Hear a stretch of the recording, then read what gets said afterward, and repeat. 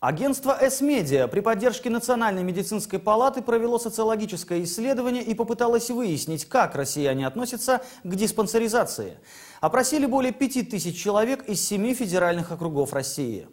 Опрос выявил, что доверие к качеству диспансеризации у пациентов растет. Из тех, кто проходил диспансеризацию в последний год-два, практически половина, 46%, намерены и дальше проходить ее на регулярной основе.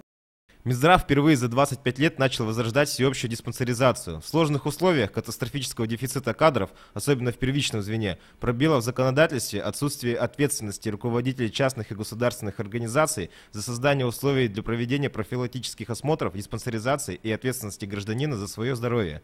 Несмотря на это, диспансеризация проводится и проводится эффективно. Выявлено большое число заболеваний, которые не были диагностированы ранее.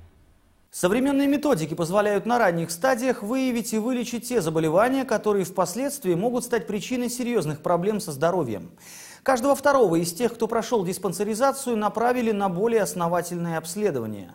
В прошлом году только сердечно-сосудистые заболевания выявили у полутора миллионов человек, а злокачественное образование у 30 тысяч. Возможно, этим людям диспансеризация попросту спасла жизнь. Эксперты работают над тем, чтобы сделать диспансеризацию проще, удобнее и популярнее. Среди ключевых задач – сократить время прохождения до одного дня, снизить уровень формальности в отношении врачей к пациентам. Уже удалось значительно сократить количество документации, которые заполняли медики при осмотре, и исключить дублирующиеся или уже пройденные медицинские процедуры. Предлагают эксперты внести и поправки в Трудовой кодекс, чтобы обязать работодателя направлять своих работников на прохождение диспансеризации. Несмотря на приведенные выше недостатки и организационные накладки, особенно в первый год диспансеризации, положительный опыт свидетельствует о необходимости поддержки инициативы Минздрава РФ по внедрению в России постоянной диспансеризации как детского, так и взрослого населения.